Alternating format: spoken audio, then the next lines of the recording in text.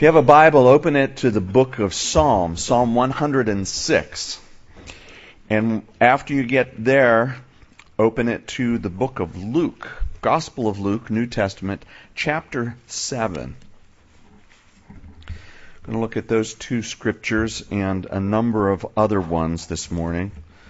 I've gone away from my normal three point sermon and I've got 10 here, so. Steeler game is until tonight, so don't worry. If the stomach grumbles a little bit, that's okay. If you need a Bible, slip up your hand and Pastor Dave will get one into that hand so you can follow along. And uh, I, I'm going to ask you for your prayers for something very special uh, that I am humbled by the opportunity to be able to do and um, how, how, can I say it? I'm not scared. I, am not anxious, but I'm uh, because I'm humbled. I, I, just feel like this is you know something big that the Lord has has given opened the opportunity for, and that is um, the first weekend in December.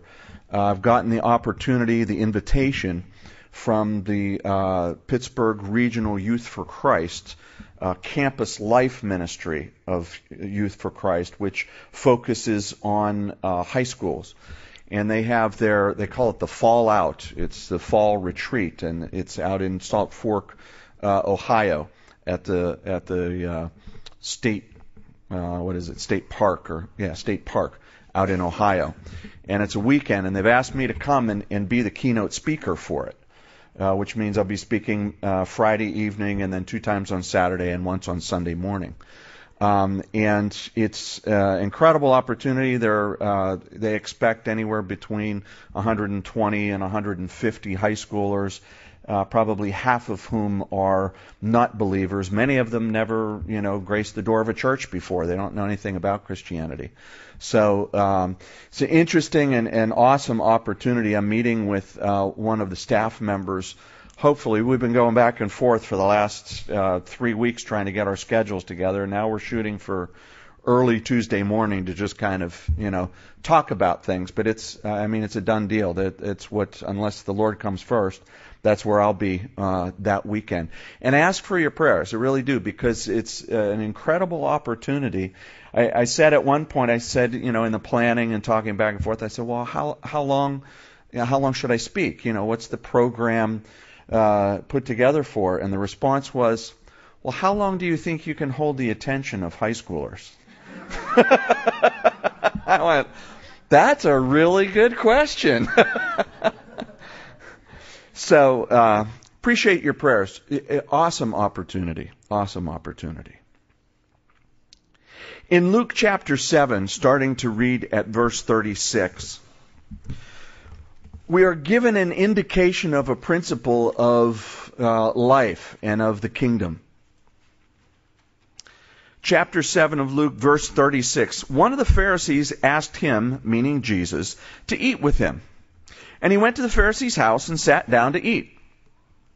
And behold, a woman in the city who was a sinner, when she knew that Jesus sat at the table in the Pharisee's house, brought an alabaster flask of fragrant oil, and stood at his feet, at his feet behind him, weeping. She began to wash his feet with her tears, and wiped them with the hair of her head, and she kissed his feet and anointed them with the fragrant oil. Now, when the Pharisee who had invited him saw this, he spoke to himself, saying, This man, if he were a prophet, he would know who and what manner of woman this is who is touching him, for she is a sinner. And Jesus answered, now I love that right there. Did you notice that this guy said it to himself? He's thinking this, and Jesus answers. I love that. And Jesus answered and said to him, Simon, have something to say to you. So he said, Teacher, say it. There was a certain creditor who had two debtors.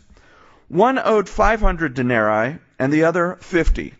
And when they had nothing with which to repay, he freely forgave them both. Tell me, therefore, which of them will love him more?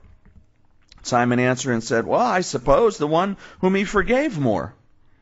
And he said, You have rightly judged. And then he turned to the woman and said to Simon, Do you see this woman?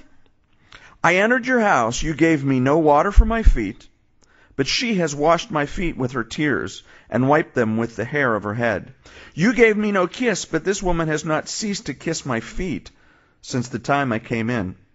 And you did not anoint my head with oil, but this woman has anointed my feet with fragrant oil. Therefore I say to you, her sins, which are many, are forgiven, for she loved much. But to whom little is forgiven, the same loves little. And then he said to her, Your sins are forgiven. Forgiven love, forgiven much, loves much. Forgiven a little, loves a little.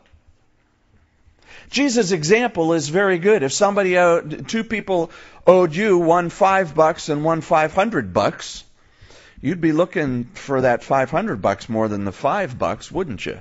And if you forgave both debts, you would expect the one whom you forgave owing you 500 bucks, you would expect, you know, a little more response from them like, "Wow, thanks so much."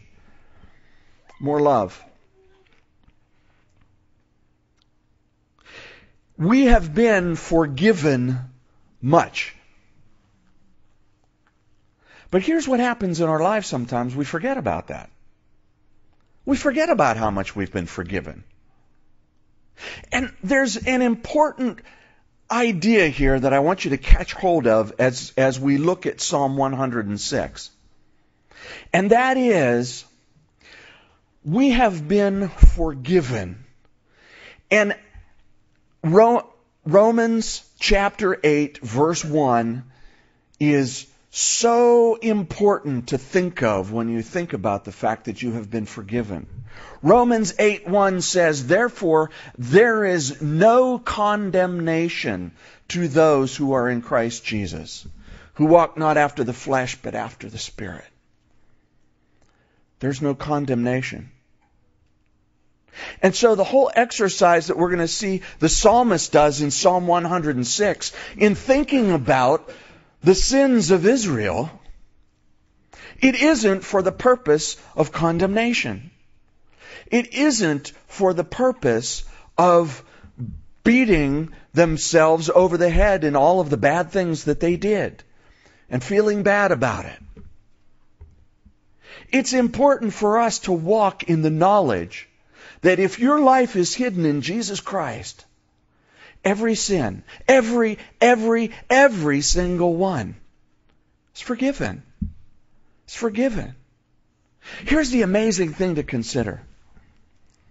God knew every single sin you would commit before you were created, before you were formed in your mother's womb.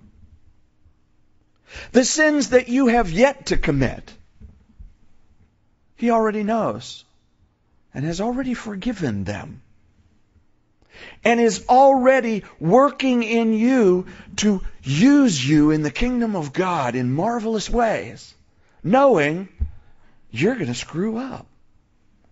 He knows that. So, the idea of remembering what we have done wrong is not for the purpose, like some might remember from growing up, that some mom and dads have a habit of doing. Maybe you're in a relationship with a husband or wife where that happens.